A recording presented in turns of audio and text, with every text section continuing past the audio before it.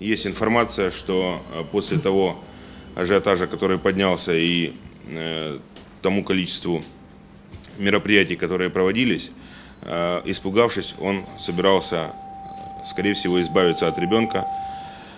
Ну, то есть он озвучил это, что в его планы это входило. Он окончательное решение по этому поводу не принял, однако намерения такие уже имел.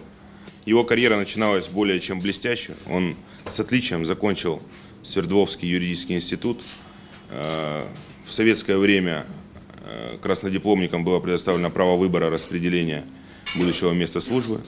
Он распределился э, в Москву, где проработав два года после покушения на убийство своей супруги, был осужден по статье 102, 102 Уголовного кодекса РСФСР и отбывал наказание за содеянное